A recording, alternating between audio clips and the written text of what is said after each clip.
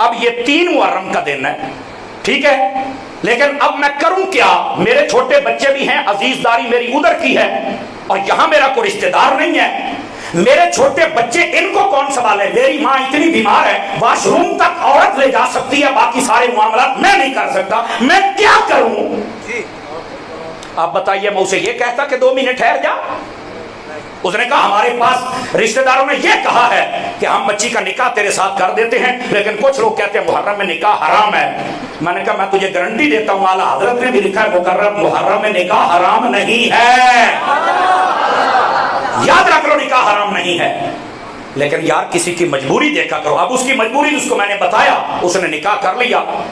मैंने कहा, बेटा, ये मसला है, मैं गारंटी देता हूँ, निकाह बिल्कुल जायज़ है। बाकी ये जो तमाशे हैं ये तो बाकी बारह महीनों में जायज़ नहीं तो मुहर्रम में जायज़ कैसे हो जाएँगे? समझ आ रही मेरी बात की? तो ऐसी कोई मजबूरी हो सकती है? किसी ने पूछा है? अलहाज वैस रजा कादरी साहब से। तो बक बक करने की लोगों को किसने इजाज़त दे दी है? मैं बड़े निहायत दुख से कह रहा हूँ, उस शख्स के बारे में जिसने पिंडी में बैठकर बड़ी मुनाफिकाना और हयाराना बाजारी जबान इस्तेमाल करते हुए अलहाज उवैस रजा की बेटी के बारे में भी ऐसे कलेमात बोले हैं। मैं कहता हूँ अवैस रजा कादरी से मेरा कोई इतना लंबा चौड़ा ताल्लुक नहीं। इतना लंबा चौड़ा इसलिए कहा है कि बस जब ताले इल्म थे तब से उनको सुनते हैं और उनकी मोहब्बत हमारे दिल में है। मेरा ख्याल है, कभी एक घंटे की मेरी मुलाकात भी ज़िंदगी में नहीं हुई। लेकिन मैं जो कह रहा हूँ, पूरी ज़िम्मेदारी से कह रहा हूँ उसने गलत किया है। और जो पिंडी का, वो शैतान है। मेरे पास लफज बहुत है बेटा। और तू भी कान खोल के सुन ले। मेरे पास वीडियो मौजूद है, उसके अंदर ना, वो मेरा नाम भी बिगाड़ के ले रहा है। शिमर अत्तारी मुझे कहता है। मैंने कहा, कोई ऐसी बात नहीं, मैं अभी तुझे कुछ नहीं कहूँगा। उसकी वजह यह कि मैं देख रहा हूँ कि तू जरा अच्छी तरह से अपनी तरबियत का इजहार कर। कि तेरी तरबियत क्या है? समझ आई ना? और हमारी, हमारे मुर्शिद ने तरबियत की है। नहीं तो पुत्रा, मेरे को इंज दे लफज ने।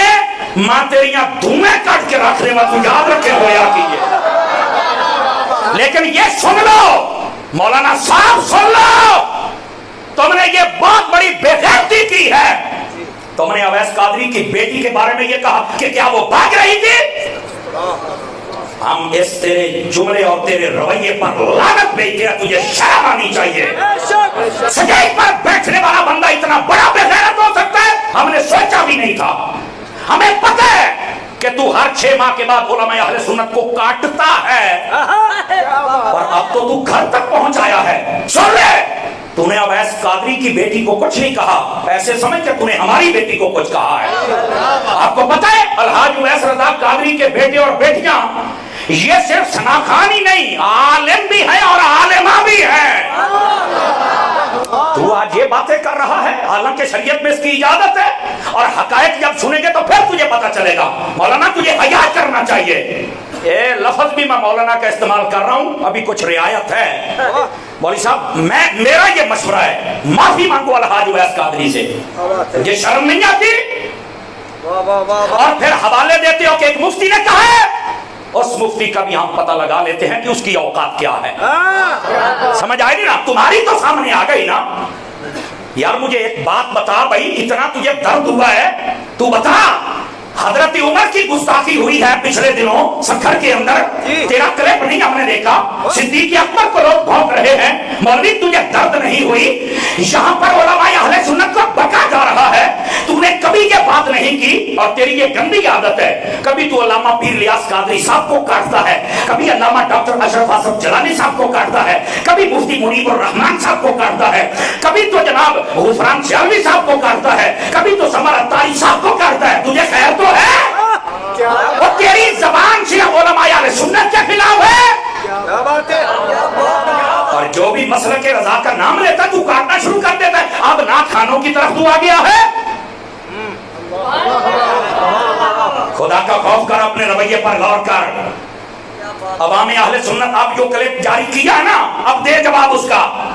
तू क्या ये समझता है कि ये मोहब्बत अहले बैत है? ये मोहब्बत अहले बैत नहीं है। जालिम तुझे किसी ने बताया ही नहीं है। ये मोहब्बत अहले बैत नहीं है। मोहब्बत अहले बैत सीखनी है ना तो मैं तुझे मशवरा देता हूँ चल के अवैस रजा कादरी से सीख। तूने उसकी बेटी पे हमला किया और मैं तमाम उलमा से और तमाम अमाम सुन्नत से अपील करता हूँ इस कमीने मौलवी को कहा जाए घरों तक ना पहुँच वरना के तुझे काम महँगा पड़ेगा। मादरत कर। क्यों भाई आप साथ हैं जितने हैं? मादरत कर इस काम से। वैसे काटता रहे, इतनी तुझे हम पहले भी इजाज़त देते थे, ताकि जमाना देखे कि ईरान के टुकड़े खा के भोंकता कौन है? इतनी इजाज़त तुझे देते हैं, लेकिन भाई घर तक न जा।